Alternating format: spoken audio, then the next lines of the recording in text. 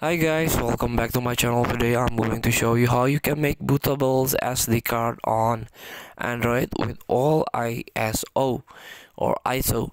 So if you in in case you want to make a um, bootable from your phone, it's very easy. You can go to the Play Store and try to search a Ventoy here.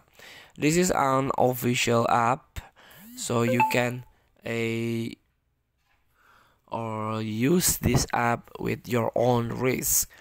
So this is a tool to create bootable USB drive for ISO, uh, WIM, IMG, VHD, and EFI files here.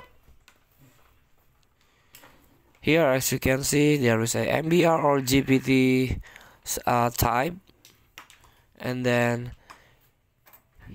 here you can copying file use this Ventoy bootable app. Feel free to try. Thank you for watching. Don't forget to comment, like, and subscribe. And also click the button below. See you in the next video.